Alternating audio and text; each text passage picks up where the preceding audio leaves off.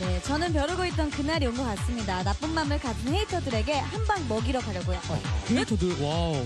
근데 둘 다 아무 준비도 안 하고 그냥 가려고요? 이러고 가면 안 되겠죠? 뭔가 준비를 해야 할까요? 일단은 나은 씨는 마음의 준비가 좀 필요해 보여요. 아, 예, 바비 씨와 1위 후보 현아 씨의 자존감 충만 무대로 빌드업 해주시고요. 알겠습니다. 네. 그럼 저는 마음의 준비 같은 건 필요 없으니까 그럼 이만. 아, 안 돼요, 안 돼요. 오. 잠깐, 잠깐.